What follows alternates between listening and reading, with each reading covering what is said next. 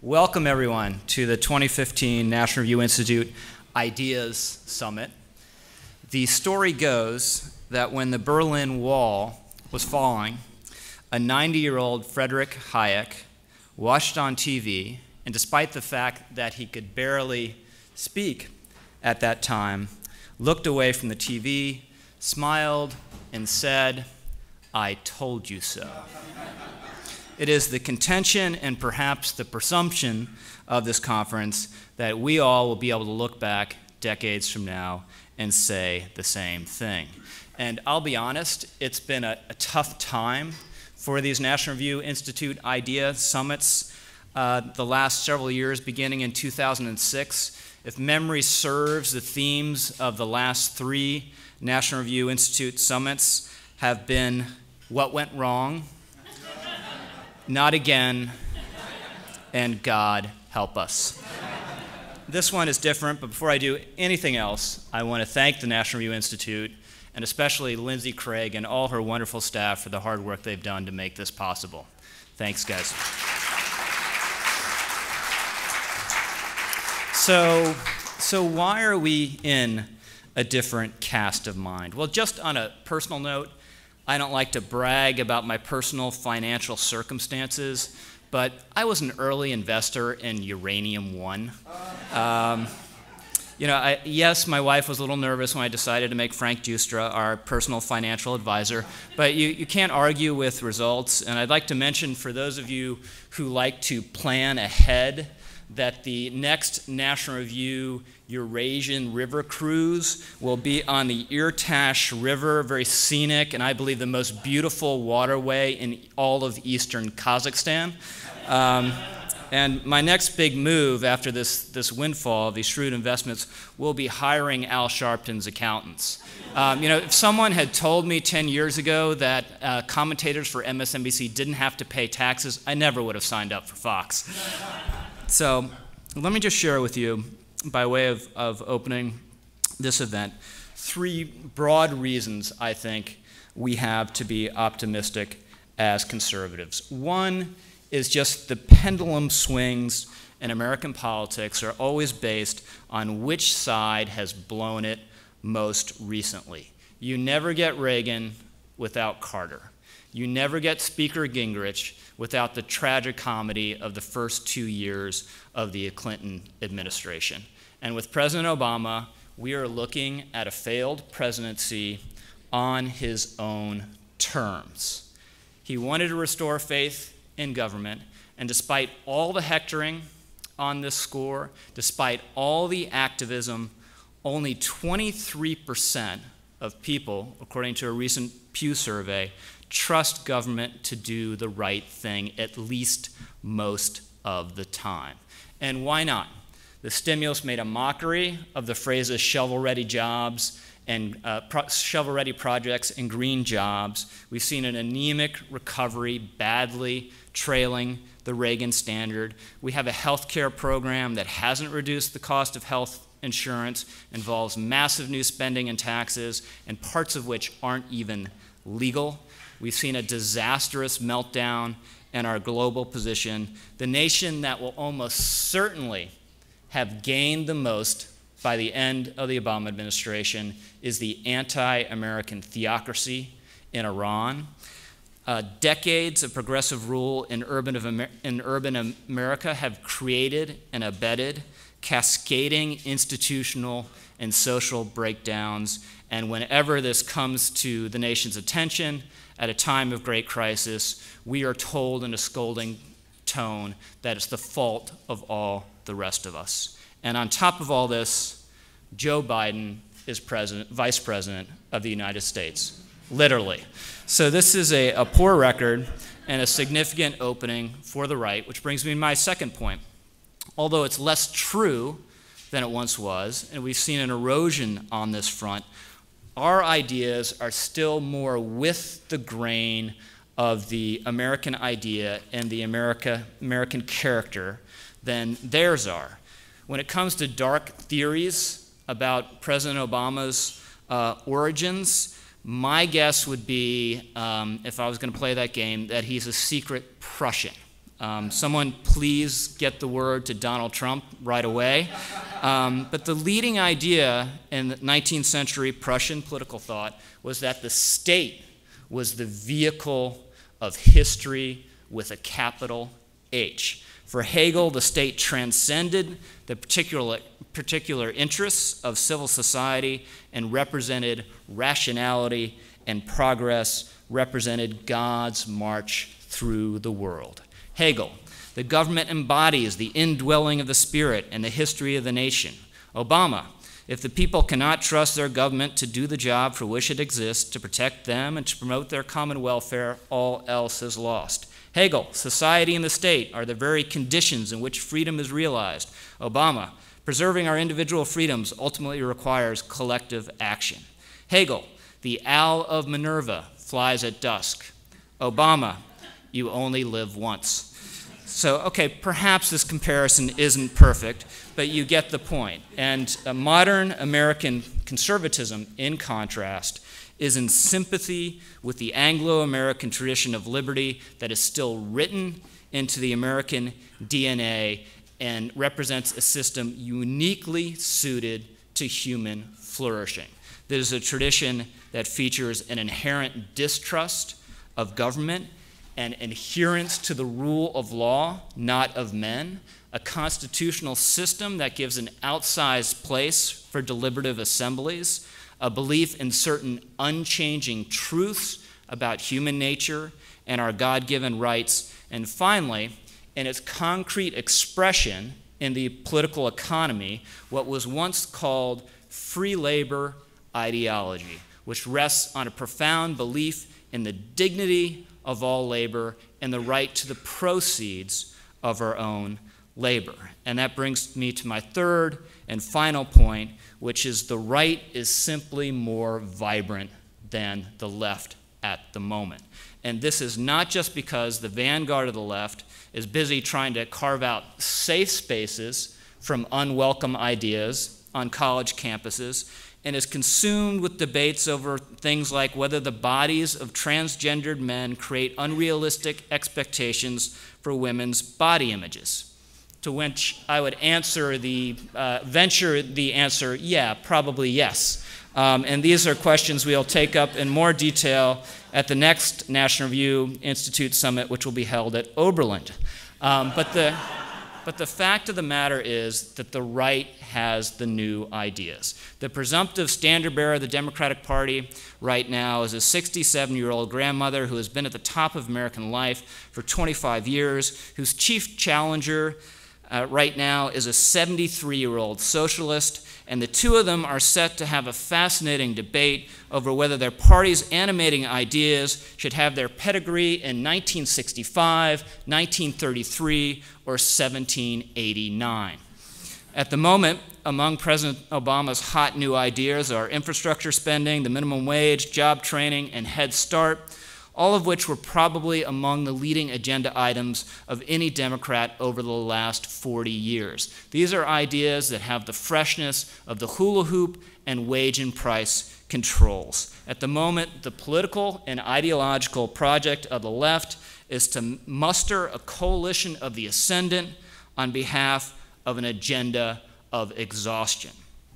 In contrast, on the right, we see a time of genuine ferment Near his death, Bill Buckley said that conservatism needed to be rebaptized.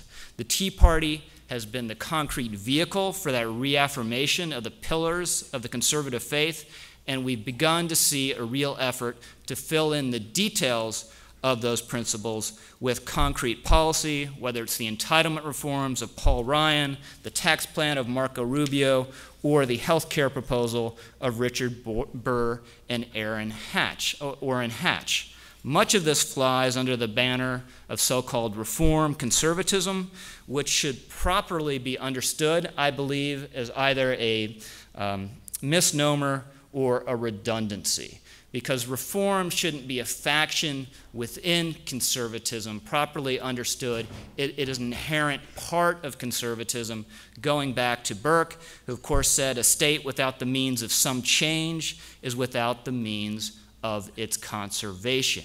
Bill Buckley himself in the 70s wrote a book called Four Reforms, a program for the 1970s. As Senator Mike Lee has said, it's not enough to have a leader for the ages, which of course we all fervently hope and wish for, without an agenda for the times. And we are seeing now that agenda sketched out, and we'll hear more about it the next couple of days here.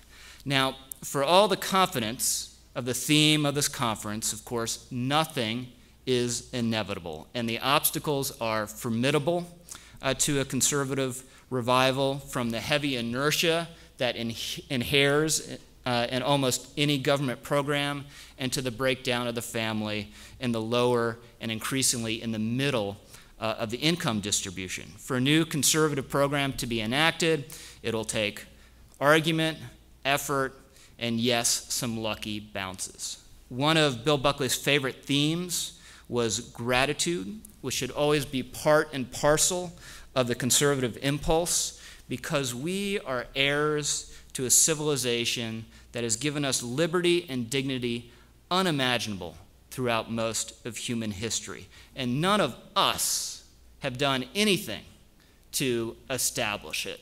We weren't at Naseby, we weren't at Philadelphia, we weren't at Gettysburg. All is asked of us is to have a proper attitude of thankfulness for all of this, which I think requires um, a concrete expression in a fighting gratitude aimed at defending and revitalizing the system and the ideas that have been bequeathed to us. Now, whether or not we'll be able to say, I told you so, like Hayek watching the Berlin Wall fall, I don't know.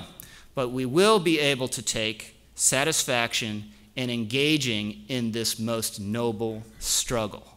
And to say to anyone who sat it out something in the spirit of the French king Henry IV, who wrote to a missing lieutenant after a famous battle Hang yourself brave Crillon, for we fought at Arques, and you were not there. Thank you very much.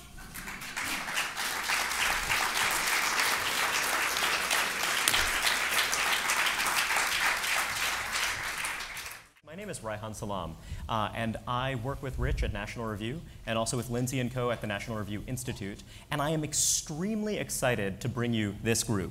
Uh, we have with us Ramesh Ponnuru, a senior editor at National Review who has actually been with National Review for almost two decades. I was reading him uh, when I was I have to say, I must have just been a year or two younger than Ramesh, but I remember him from my youth, and I actually am pretty sure that Ramesh is someone who wooed me to the political right, so it's a real honor to get to work with him now. Uh, Mona Charen is a senior fellow at the Ethics and Public Policy Center, uh, and she's also a columnist for NR, among other places, and she is one of the keenest political analysts I know, and also a very sensitive and thoughtful observer of the culture. Uh, and opposite of sensitive and thoughtful, I'm kidding, is uh, Kevin Williamson, our roving correspondent. Uh, and uh, if Mona and Ramesh are the brains of the American right, I'd say that Kevin is kind of the poet. Uh, Kevin is someone who is just an incredibly compelling storyteller who, you know, certainly can think in terms of abstractions, uh, but he's also someone who really, you know, gets in the nitty gritty of what's happening in American life today. And, and you know, you all should feel very lucky to be here with these guys. Charlie Cooke is staff writer at National Review, and he frankly frightens me a little bit. Charlie is a foreigner, now a naturalized American, but he is a dangerous radical who wants to teach Americans lost lessons about freedom. And frankly, I find it kind of alarming some of the time. But you know, we're going to get into that now. Uh, so just a few miles up the road from here, uh, you have Baltimore, a city that was once a thriving, flourishing place, a city of over 600,000. That's, that's really in the middle of this incredibly wealthy corridor of knowledge creation and wealth creation. And yet, weirdly, Baltimore uh, is a pretty grim place. Um, and of course, Baltimore has been in the middle of this you know, kind of uh, amazing series of kind of uh, this, this urban unrest. And you guys have all had things to say about, and I want to start with you, Kevin. Um, Kevin, President Obama tells us that Baltimore is an indication that we need a more centralized America. Uh, he, you know, Baltimore is failing because the federal government hasn't stepped up and hasn't done enough. Yet you're from Texas and you've done a lot of traveling around the country, and it seems that, that there are actually other parts of the country, other cities, uh, that are not doing quite as badly as Baltimore. Sure. I, I think Baltimore was almost 900,000, or a little more than 900,000 at one point, just under a million people at its, uh, at its largest. Yeah, I, I wrote this the other day that I think things will probably radically change in uh, urban politics in America the day someone walking around in Baltimore stops and says, Why doesn't this crap happen in Provo?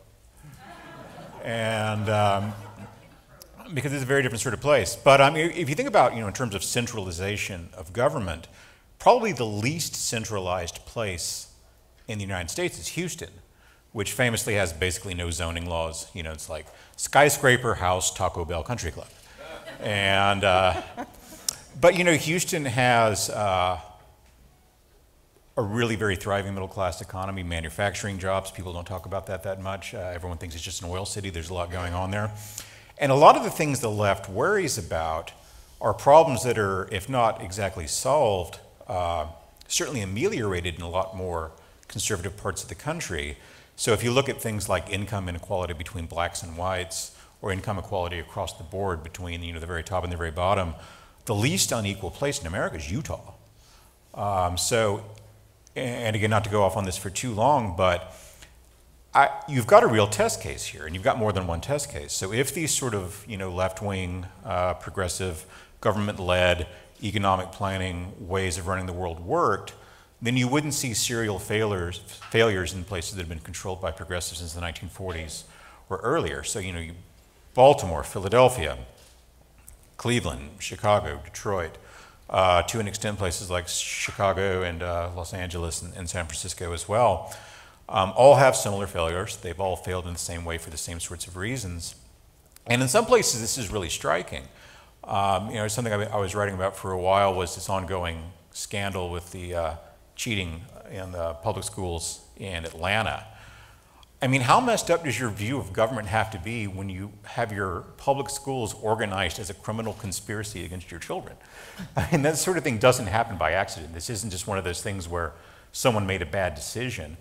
And, uh, but then it turns out it's not just a few bad apples situation where we learned earlier in the week there's a similar cheating scandal involving the uh, Atlanta Police Department uh, which, you know, good thing we haven't seen any problems with police misbehaving lately.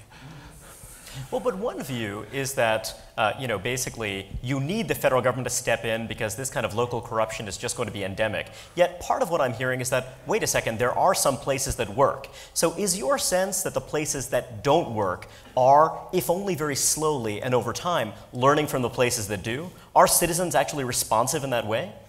I think so. Um, you know, you saw you know, pretty radical changes in New York in the 1990s uh, in terms of the way you know, cities are organized. Uh, in terms of, you know, New York didn't become a conservative place by any stretch of the imagination, but it became a place in which, you know, certain sorts of managerial standards and standards of effectiveness were demanded, and that makes a huge difference. You know, there's a reason why, in spite of their having a larger public sector and a bigger welfare state, that Canada and the northern European countries are not, you know, hellholes where nobody wants to live. They're actually fairly pleasant places.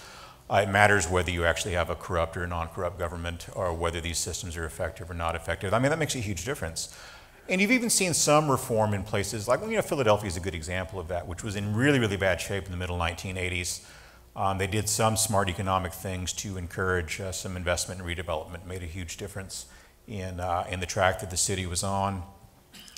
And you'll probably see some of that in places like Los Angeles, which, uh, in spite of the deep, nay, bottomless stupidity of its uh, local political culture, um, is not in the same sort of situation that Detroit, for instance, was in, in which this you know, really polarized uh, racial politics prevents any sort of uh, you know, real democratic redress. So, so you, yeah. you do see some source of optimism there. Mona, one thing that was very striking about the president's remarks is that, you know, sure, he said that uh, federal investment is going to be the cure for these deep-seated ills, yet he also said something else.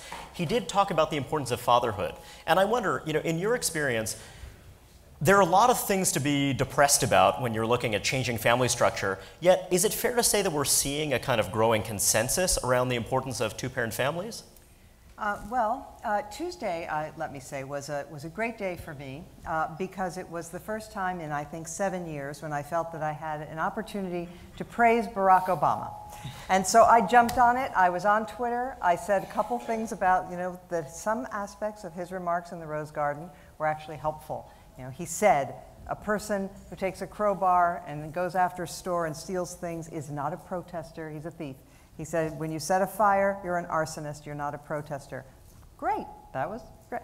And as you say, the other thing that he said that was helpful when he was diagnosing what's wrong with the cities and why we have these festering sores in, the, uh, in many cities in America um, he mentioned that you have whole communities of people growing up where there are no fathers to set an example. So I praised him for that too. I, think people who follow me on Twitter must have been like adjusting their screens, saying there's a mistake here. It looks like Mona Charen's praising Obama.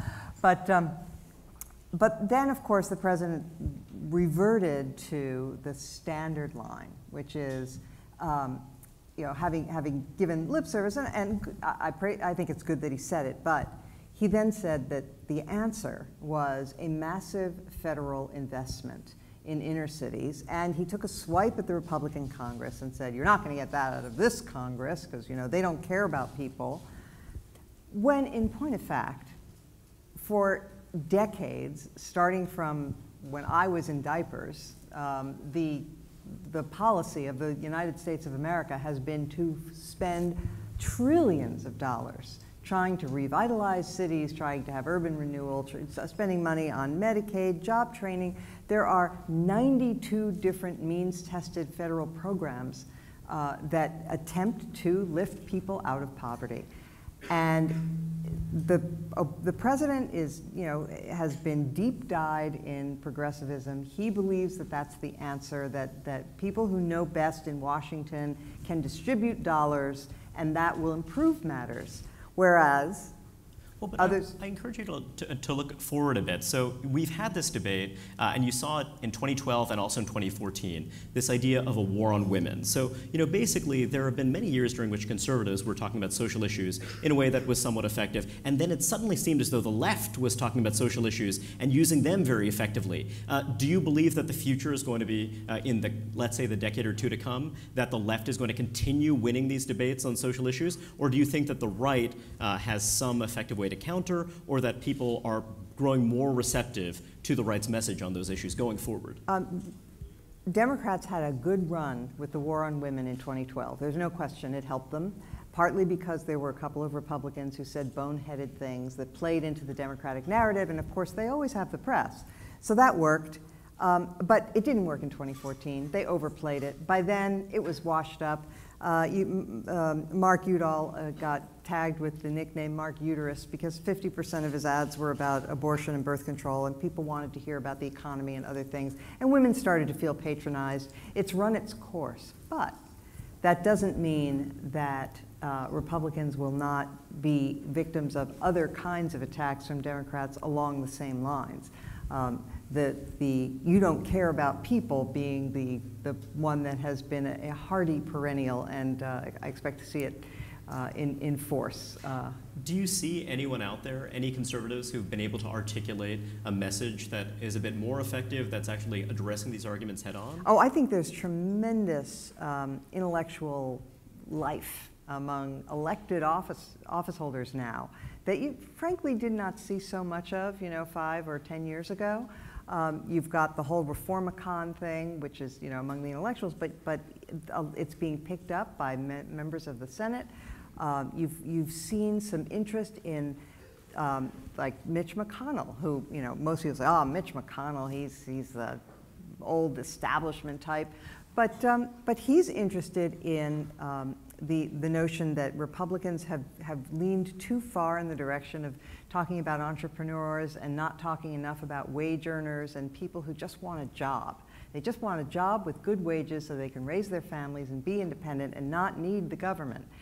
And, um, and that message, I think, is getting through, and that's a very, very hopeful thing because the biggest problem for Republicans is, their, is the perception on the part of many voters that they are for the rich. So, Ramesh, I mean, do you recognize that as well? Do you see that you have Republicans starting to talk about issues in new ways? And are there opportunities being created by the left in that regard? Well, I think that the first years of the Obama administration um, uh, made Republicans go very far into opposition mode, quite understandably and correctly. Um, those were the years when people were saying Republicans were the party of no. And the party of no was, I think, the right thing to be. Um, but I think we saw in 2012 that merely being that was not enough. Uh, and even if it had been a reasonable strategy to pursue in 2012, it just doesn't make quite as much sense when you're um, in a different political context. He's been reelected, he's never going to be on the ballot again, and you've got a different situation. Um, if you recall, the, the, ambition on the part of liberals was that Obama was going to be the liberal Reagan, or really rather the liberal anti Reagan, that just as uh, uh, Reagan had sort of caused the, the fall of the old liberal order, um, so uh, Obama would do that for the Reaganite order. Um, and there are certain parallels, and there are certainly uh, times when you think that the Republican Party might need to be reformed and conservatism might need to be reformed, the same ways that the Democratic Party had to be reformed in the late 1980s. Uh, but the difference there is that Americans were actually pretty happy in the late 1980s with how they were being governed. Um, the Reagan agenda was seen as being largely successful. Um, and fair minded liberals had to concede, well, maybe Reagan had a point about inflation or about crime or about high taxes. And I just think that we're in a very different situation right now where you've had liberal political success that is not matched by any kind of popular happiness. Um, people still think that the country is on the wrong track, not the right track. And so I think that that, that basic unhappiness that neither party has really been able to tap is what creates an opportunity uh, for a conservatism with a fresh agenda. A conservatism that marries the public's basic ideological dispositions towards small government and towards concern about the family, uh, uh, respect for religion, to a practical agenda that explains how those dispositions can be made to work for people in areas like healthcare and higher education and so forth. We haven't done enough of that in the recent past as conservatives. I think we're starting to do more of it, and I think that if we do, it's going to be a hard to beat combination. Rich made a reference to the staleness of the Democratic agenda right now. Uh, it seems that, you know, yeah, make the minimum wage a little bit higher. Uh, you know, let's have universal child care. And I'm curious, uh, Tell me what you think of that, because I think that, you know, I, I, guess from the Democratic perspective, this idea that they're intellectually stale is crazy. Because to say that we ought to have, you know, kind of this universal provision that could make a huge difference for many working women, let's say, you know, this could be very politically potent. So is it your view that that is not going to resonate with uh, the broad middle of Americans? Or do you think that, you know, it's a real threat? Well, nostalgia is a powerful emotion. So uh, the fact that an agenda is stale does not mean that it lacks political potency. Um, if you think about the uh, Democratic calls for reviving um, the labor movement, um, that is, it is entirely steeped in nostalgia. I mean, if you read uh, every other Paul Krugman column, which is about the rate at which I would suggest reading them, uh, or, or the Center for American Progress's big report on what to do about the middle class, um, the storyline is essentially everything was great in post war America, dominated as it was by uh, a, an alliance of big government, big labor, uh, and big business. Um, and it was egalitarian and it was high wage. Uh, and then Ronald Reagan came along and destroyed everything. And, uh, and unions have been suffering ever since, and so has the working man. Well, actually, union density in this country peaks around 1963. Um, so this is a very long running story of decline. Um, the reasons for that decline have to do primarily, I'd, I'd argue, with the fact that uh, unionized companies were less competitive than non unionized ones. So, if you're a non unionized manufacturer, you're adding jobs at the same time unionized manufacturers are, are shedding them. And the public is actually less and less in favor of unions uh, and more and more skeptical of them. And the, the basic liberal response to these trends is to plug their ears, shut their eyes, and wish that things could be made the way they used to be. Um, and that nostalgia is just, I think, not sufficient as a program. We, we can't have a debate where it's just, you know, to, to adapt things, that, something that Brink Lindsey of the Cato Institute says, where um, the right wants to go home to the 1950s and the left wants to work there. Um, as strong as that emotion can be when there's nothing to counter it, there's no attractive agenda alongside that nostalgia, I think people can see through it if that alternative is presented. Charlie, when conservatives talk about social issues, there's oftentimes this kind of defensive reaction, the sense that, uh, you know, let's say on abortion, public opinion is kind of holding the line tepidly.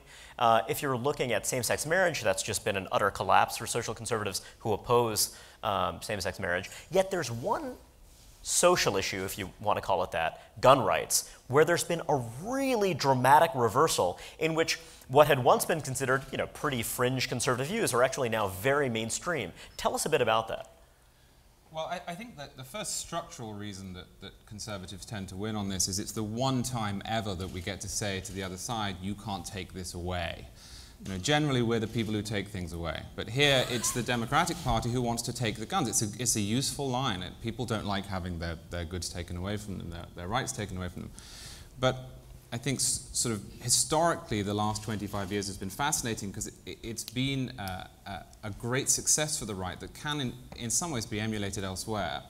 If you had said in the year 1990 to, to an average uh, political observer that by the year 2015 every single American state would have a concealed carry regime of some sort, not perfect, but every single one would have one, uh, that Washington, D.C. Uh, would have had its uh, laws overturned, that the Supreme Court would have correctly uh, recognized the Second Amendment as an individual right and then incorporated it to the states. Uh, that there would be no so called assault weapon ban at the federal level. Uh, and that the number of firearms in the United States would have doubled over 22, 23 years, almost to 350 million. Uh, but that crime would have dropped uh, in half and gun violence overall would have would have dropped 75%, people would have looked at you funny. They would have said, absolutely not.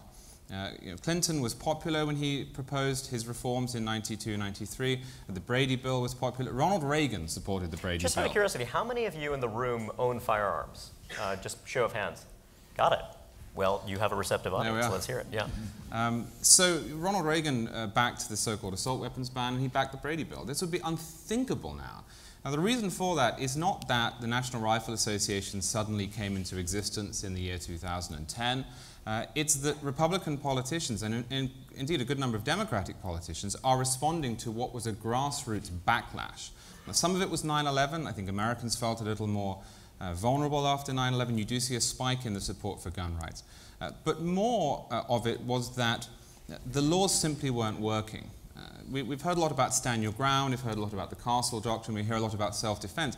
People don't realize that in the 1970s and the 1980s, many states essentially got rid of their old laws, the laws that had come from British common law, uh, and they were left at the mercy of prosecutors if they ended up killing somebody or defending themselves. That stopped working. The crime rate, uh, crime rate spiked in the early 90s, and Americans changed their mind on these questions. And they started to put pressure. And it really is a grass. You hear so much about the National Rifle Association, but it really is a grassroots Well, there's movement. another element of this, though. Uh, when you're looking at, you know, when people are expressing anxiety about the political future of the American right, they often point to the fact that, you know, America's demographic mix is changing, and, uh, you know, it, it tends to be white voters who gravitate to the political right. Yet, with regard to gun rights, it seems there's been a sea change of opinion among minority voters voters?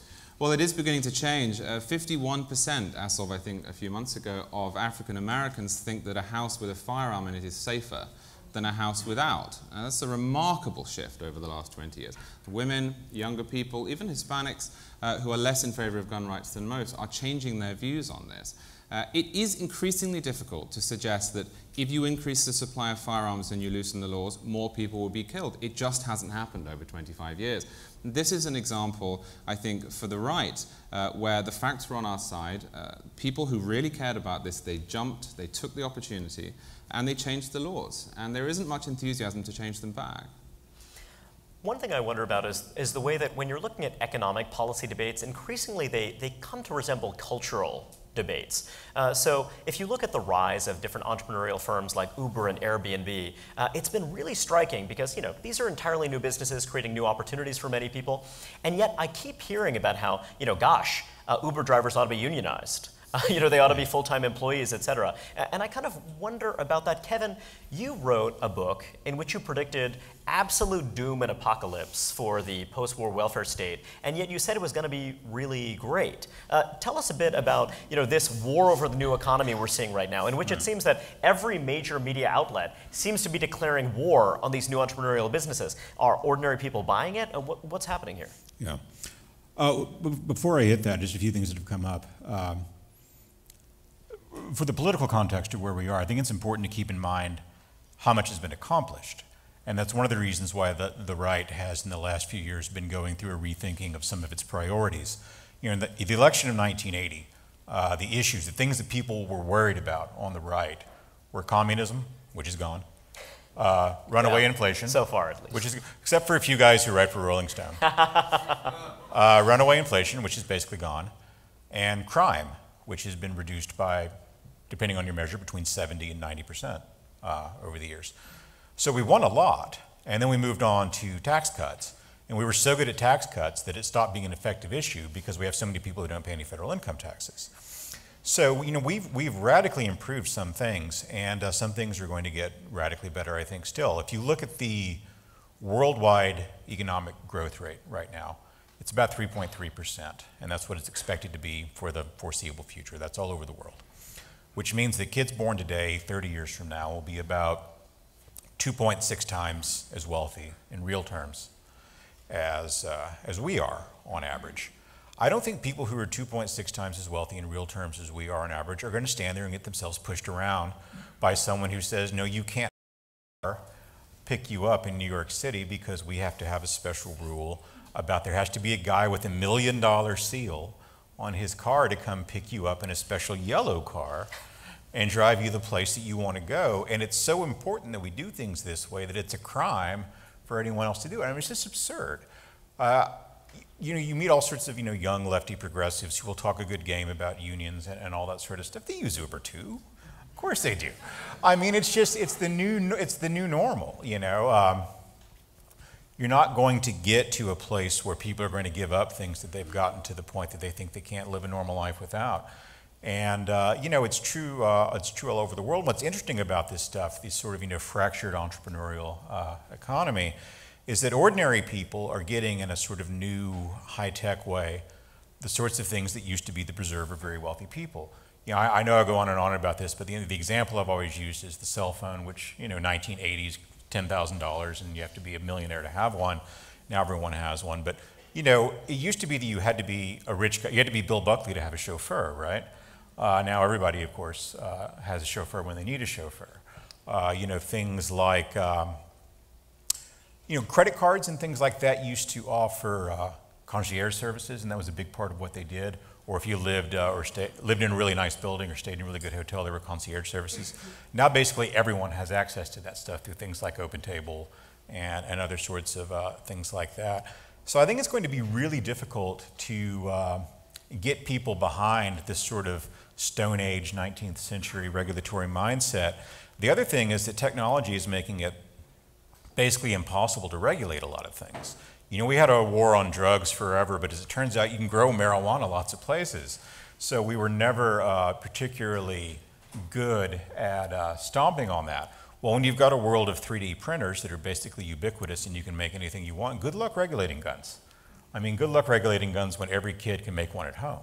I just want to ask everyone in the audience, there are cards on your tables. So if you have any questions, please just jot them down on those cards and we're going to collect them later on. Uh, Ramesh, so the United States has grown more affluent in recent decades, not as quickly as some would like, but it's certainly grown more affluent. And yet it's not clear that we've moved further in the direction of economic independence. You'd think that people who are you know, far richer than they were in 1945 would say, well, I'll meet my own retirement needs, or I'll, I'll, you know, kind of, I'll handle those various problems. Why do you think that is, and do you think that might change? Do you think that in the future, as people grow more affluent, they might want to take more responsibility? Well, uh, in some respects, people are taking responsibility. There's a lot more um, private retirement uh, accounts uh, and 401ks have gotten better over the years at the same time that um, public retirement accounts like Social Security are showing no signs of change whatsoever, except that they're getting a little closer and closer to bankruptcy uh, with every year.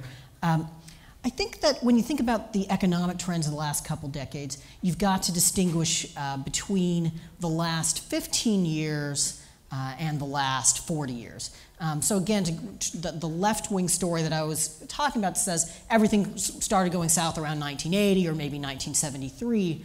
Um, but in fact, the, the 1980s and 1990s were good decades economically. Everybody at that time basically understood that.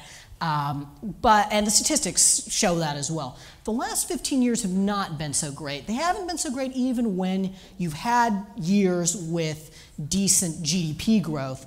Um, if you're in the middle of the income spectrum, you didn't really feel that growth yourself in your own take-home pay, in your own standard of living.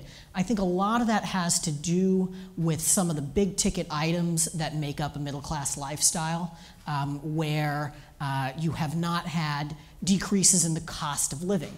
Um, so there's been a lot of anxiety about paying for college, uh, either paying, it, uh, paying off college debts uh, for younger people, um, prospectively paying for your kids' college uh, for older people, um, the cost of health care.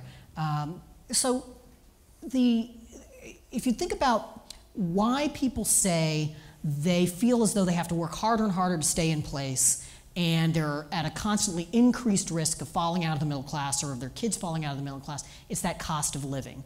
Uh, and I think that that is in itself a kind of, uh, you know, as, as, as ominous a sign that is, you know, that the, the confidence um, that our kids are going to do better than we did has really plummeted. But there's also something hopeful in it for conservatives in that most of those areas are uh, concern issues where conservative policies have just not been brought to bear, where really liberalism has shaped the way American public policy handles health care uh, and handles higher education. And conservatism really hasn't, has barely even turned its attention to those Conservatism has just been more reactive That's to right. liberal initiatives. That's right. But these are areas where competition, decentralization, accountability, consumer choice, if we give them a chance, I think could have a real potential to drive value uh, in these sectors of the economy as they do in every other sector of the economy. Um, and you know, that gets back to what Rich was saying earlier, that our agenda is just a better fit for the circumstances we find ourselves in. Mona and Charlie, I have a question for you both, and, and Mona, perhaps you can answer it first. Uh, this is a little bit abstract, but it's keying off of what Ramesh had just said. One view is that if you have sluggish economic growth, there are going to be a lot of people who think, I don't want your crazy new redistribution scheme. Uh, because you know, frankly, uh, you know, I, am a little concerned about what I'm going to have left over in my paycheck, uh, and this sounds rather risky to me. And this is a government that has not delivered better outcomes for people. That's that's kind of one take. Uh, but another view is that you know, when the economy is growing and flourishing, I'm more entrepreneurial, uh, I'm more willing to take risks, and I actually might want a more kind of dynamic free market economy. So, so where do you think it falls? I mean, do you think that you know, kind of for kind of most people, do you think that um, actually having a growing, flourishing economy makes them more conservative, or the opposite? Well, um, it, it is the case. Um, polls have shown that to the disappointment of the left, um, income inequality just doesn't rank very high on the list of priorities for the average voter. They're not as angry about it um, as the you know Occupy Wall Street people and the Democratic Party, but I repeat myself, um, are. You know, the, um, the, it's just not what, um, what motivates them.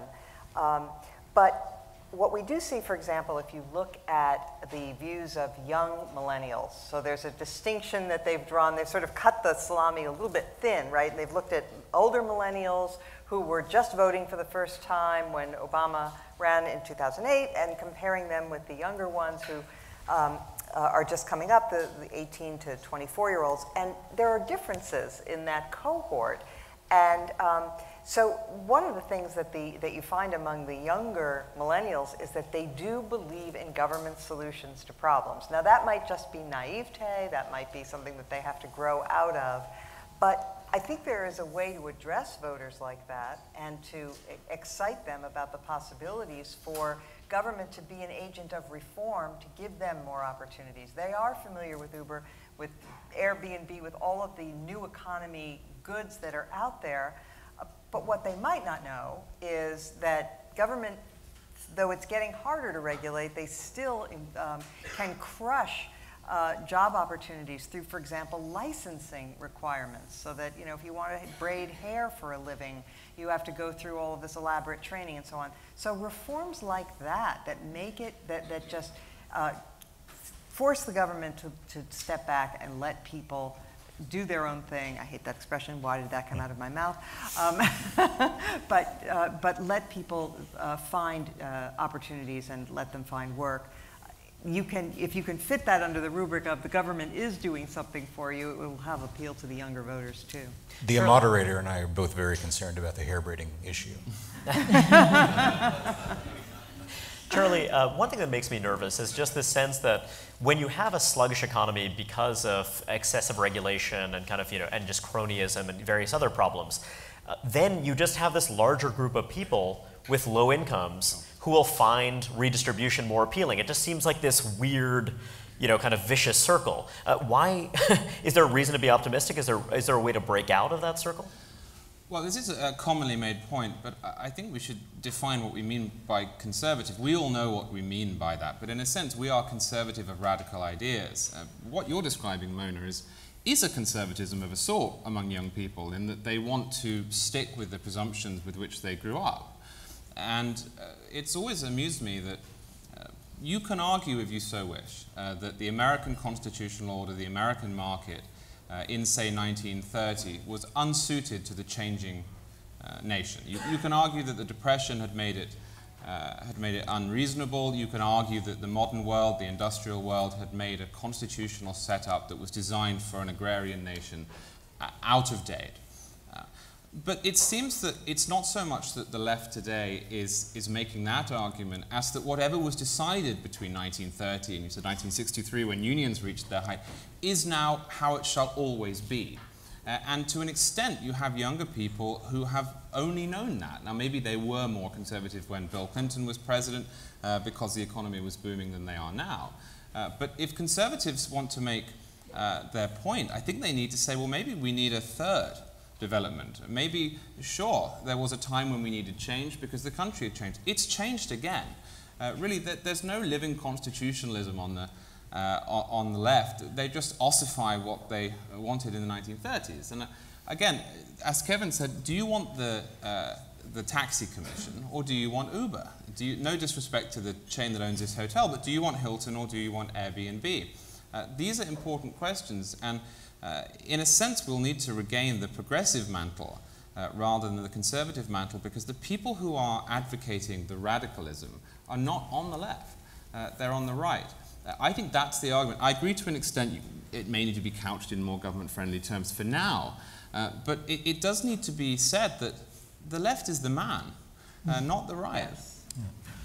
I hate to correct you on something, Charlie, but the choice isn't between Hilton and Airbnb, it's between housing projects. Well, true. And sure. Airbnb, right? Because there's choice in that stuff. Sure. Oh, Kevin, we have a question from the audience for you. Sure. Uh, and it's about Austin. Austin seems like a kind of quirky place uh, where you have a lot of you know uh, entrepreneurial spirit. You have uh, you know kind of very young population of people who are just generally kind of curious people, mm. and yet the city just banned e-cigarettes. Yeah. Uh, you know, it's a city that uh, you know seems to be moving in, in a kind of leftward lurch. So how do you reconcile those two things? Well, you don't. Uh, you know, the thing about Austin is they have this dumb sort of faux municipal motto, "Keep Austin weird," because they think of themselves as being you know quirky and all that. I was out at Hillsdale a couple of months ago, and I wrote a little piece afterward. You should really be talking about keep Hillsdale weird, because that's the place that's actually different from the rest of the country. You know, Austin is full of people who are 24 years old and in their first job and making some money and feeling like failures because they don't live in Brooklyn. So they're trying to make Austin into Brooklyn. Um, Austin's problem is that it's second rate. It's a, it's a perfectly nice place, but it's a second rate place. It's, it's not Brooklyn, it's not Berkeley, it's not San Francisco. It's the same reason know, Jay Nordlinger always points this out that the University of Michigan is so much more stridently PC than, say, Harvard is. Because, you know, Harvard doesn't really have all that much to prove. Uh, Austin does. Austin's just a second-rate place.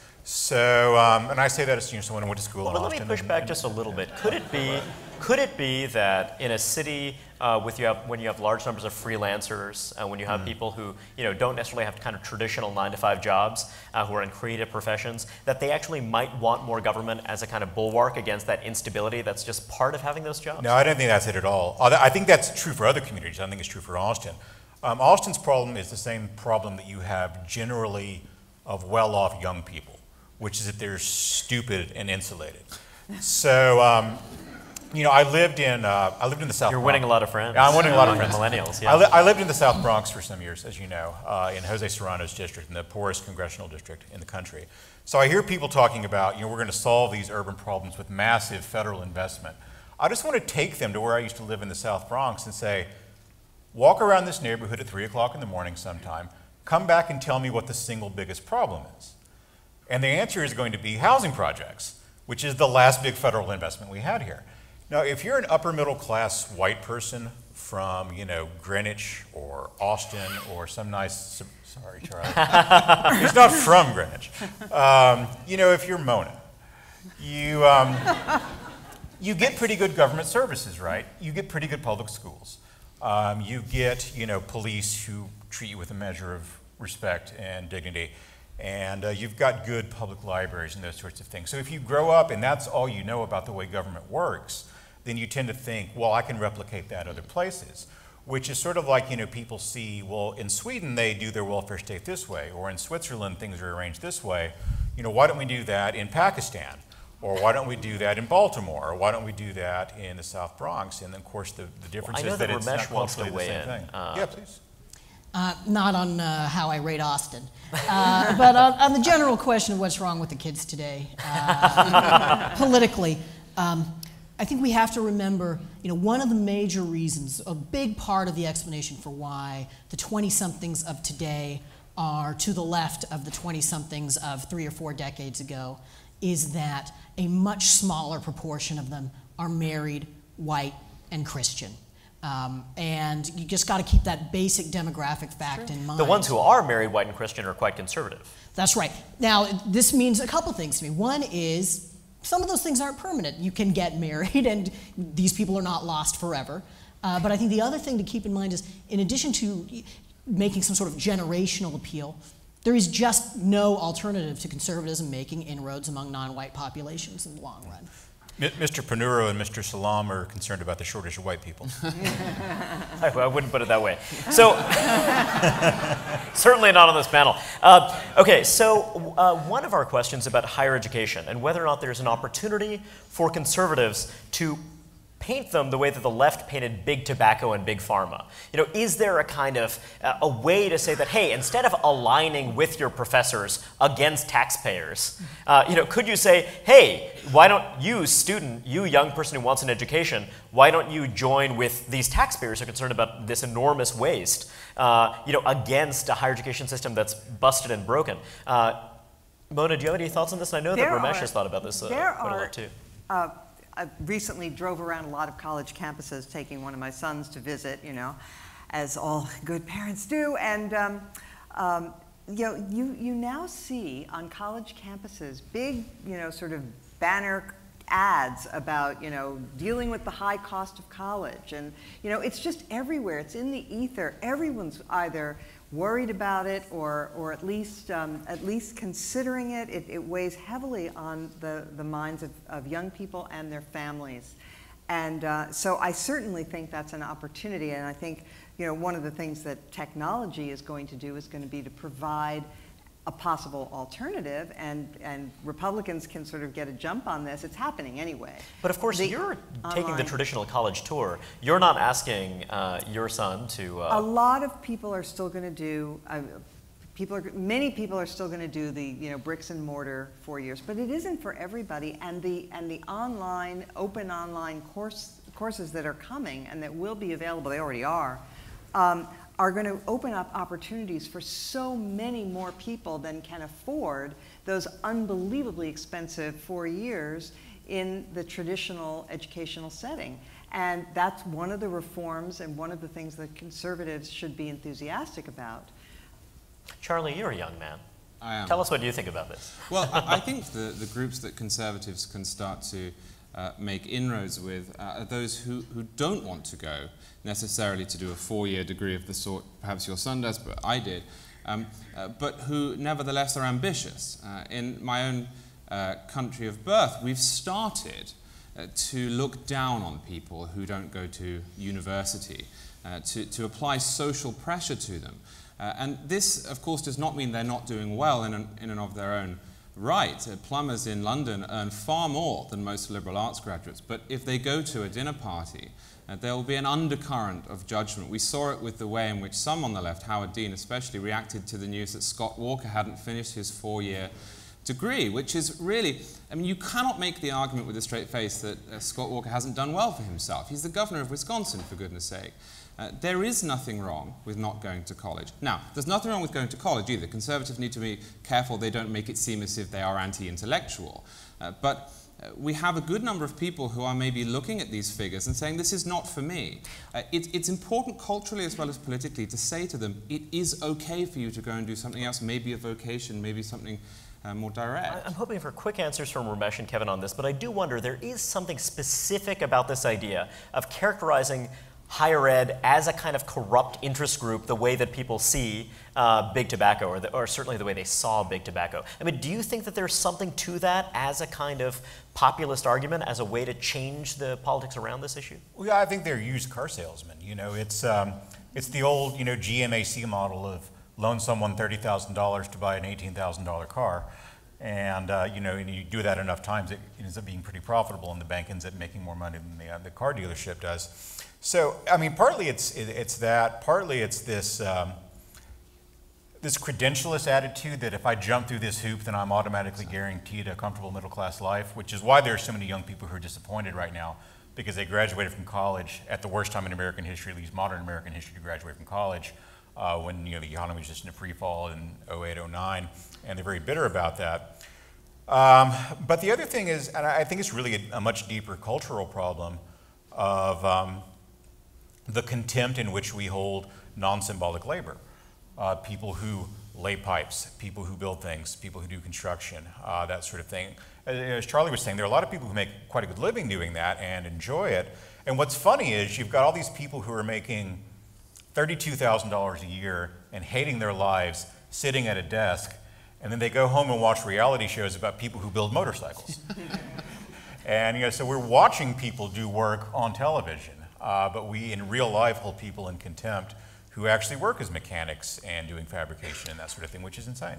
I, I don't think I would so much make um, our higher education policy about attacking um, traditional higher educational institutions, but I would say that the system we have serves their interests better than it serves the public interest. And that what is needed is not an assault on those institutions, but the creation and expansion of alternatives to them uh, online exactly. courses, apprenticeships, vocational educational programs, new forms of accreditation so you don't just have to be like every other higher education institution in order to have access to federal loans. And then as, as all of us I think here are saying, we do need to push back on this cultural message that you have to go to one of those institutions or you're a loser for the rest of your life, which is very bad, which is really cruel for a large number of uh, people in our society, and ultimately I don't think actually serves the purposes of liberal education well either. Ramesh, one thing I'm struck by is that when I was a kid growing up in New York City, New York City had very acrimonious, very contentious racial politics, and then you know that calmed down to some degree, ironically, um, you know, after crime rates fell. But uh, you know, Rudy Giuliani was a very polarizing figure in some ways, but actually in some ways the racial climate improved uh, after he uh, was in office.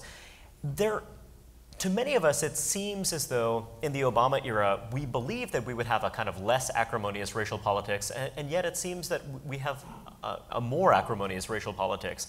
Uh, and you know, certainly there are issues uh, concerning uh, police brutality that used to be considered primarily local issues that are now becoming live issues, uh, let's say in intra-democratic uh, primary battles uh, and much else. Do you think that we're on a kind of one-way push that you know, uh, whoever the next president is going to be is going to be kind of engaged in, in this particular style of racial politics. They'll have to either respond to it or, uh, or do you think that uh, this is just a kind of temporary aberration? Well, that's a great question. I suppose it depends uh, to a large degree on the outcome of the next presidential election.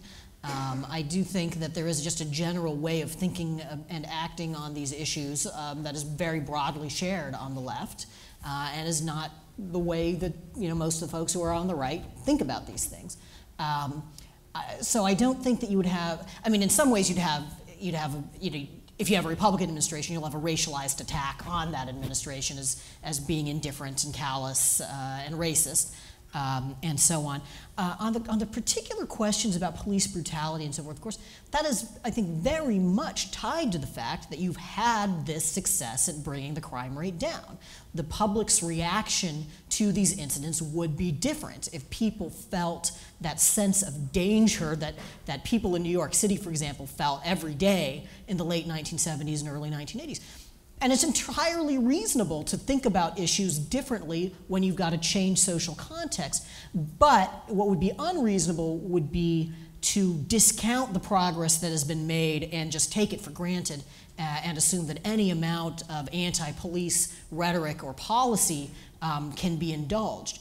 Uh, and I suspect that in a way, the political conversation about criminal justice has gotten a little bit ahead of the public in that I'm, I'm all for a lot of criminal justice reforms. I'm glad to see Hillary Clinton catching up to Rand Paul and Ted Cruz and Mike Lee on that issue. But it has to be, it's very important that the basic orientation of criminal justice reform be pro public safety, pro law enforcement, pro police, uh, and not uh, move off in a, the wrong direction. Uh, Mona? Um, this, this topic of what goes on of, between police and black young men is part of a much bigger picture with what has gone wrong with, um, with, with many aspects of our society, by no means limited to African Americans or minorities. It's, it's part of a much larger trend of family disintegration, something that, that Moynihan started warning us about 50 years ago. Um, and, um, and it's only gotten progressively worse, and the statistics are just deadly. Everyone knows it, you know, that, that your chances of not graduating from high school, getting in trouble with the law, not marrying and so on and so on, are so much higher, you know, 70, 80% if you grow up in a home where your parents were never married, which is the case with large numbers um, of people who live in these neighborhoods. Now, it's one of the great tragedies of the Obama presidency, um, which, you know, was iconic in some ways and, you know, good for America, electing the first black president.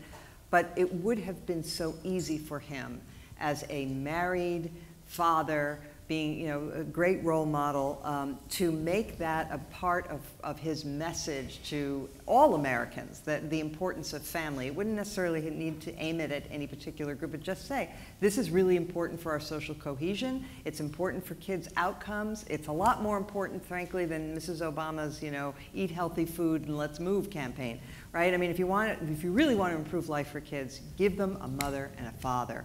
And alas, this president um, did not choose to do that. One follow up on that. So, if you're looking at a figure like Barack Obama, who is so admired uh, in the African American community and other minority communities as well, he has a kind of, you could argue that he has a kind of unique position, a unique ability to make that case. Whereas, you know, the next president, let's say the next president is a Republican. If that next president is Scott Walker, it seems that Scott Walker saying that, hey, fatherhood is important, might have less resonance. Much is less. that something that. Uh, Absolutely. That's why it's such a tragedy that Obama chose not to do it. He made, he's made one or two speeches, he's occasionally delivered this message, but usually it's been to an audience of like young black teenagers rather than to you know the whole country and making it a really key message of his of his presidency. But is it possible for someone who isn't Obama to be able to talk about this, um, you know, intelligently and sensitively in a way that might resonate?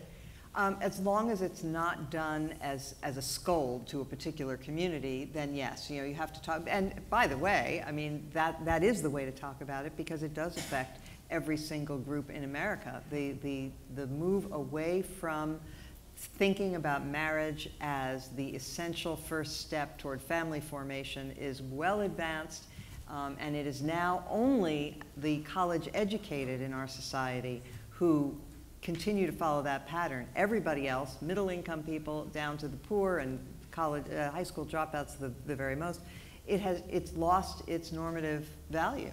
Uh, so I, I don't want to wear out our welcome. I do have one last question for Charlie.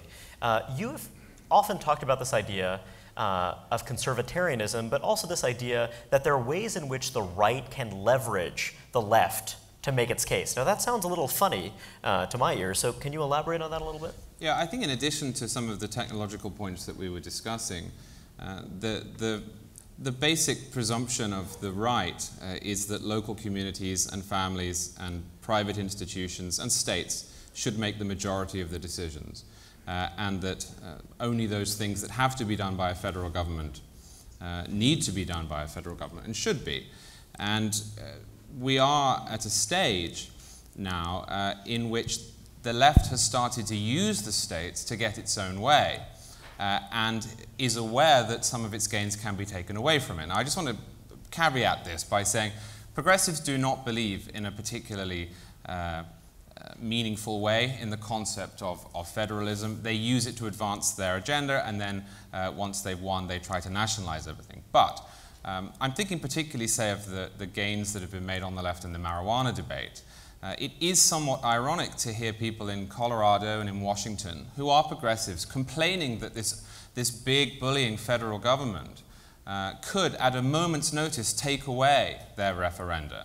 Uh, and I have heard very few conservatives uh, you don't have to believe that marijuana should be legalized to make this point. I've heard very few conservatives go in and say, well, you know, that's what we're talking about. Mm. Uh, we are not particularly good at this. I, I complain frequently uh, about how we argue against mandates. Uh, a good argument against a mandate is that we do not believe in mandates. What it is that's being mandated is irrelevant. In, you know, I don't think that um, little sisters of the poor should have to pay for contraception is a winning argument. Uh, you know, people who use contraceptions are sluts is not a winning argument. And often we do go too far towards the latter. Uh, and I think when it comes to, say, uh, the question of mandates, we could say, and, and make some inroads, hey, you know what, I'm really in favor of guns, but I don't want to mandate those on you. At that point, the other person recognizes what I'm arguing. The same thing is true of federalism. Uh, progressives are using the federal system. Let's point out to them that this is exactly what we're talking about, just on the things that we care about. And that's where I think there is a, an opportunity here uh, especially given that they haven't got much traction at the federal level. so you trade this. a more socialistic Vermont for a more libertarian Texas. Absolutely right. And I think just a final point on that. How many of you guys would take that deal? I just think on, on that point that it is okay for people in different parts of the country to live a little differently from one another. It's not just about having little laboratories that you can then nationalize. It's fine if people in Massachusetts want to live slightly differently. And the more diverse that we become, the more different in terms of questions of religious liberty, of gun control, of drugs, of economics, unions, and so on and so forth, the more we need to use that. Uh, I would take that deal, and I'd take it not just with those two states, but with all 50. Thanks very much, guys. Thank you.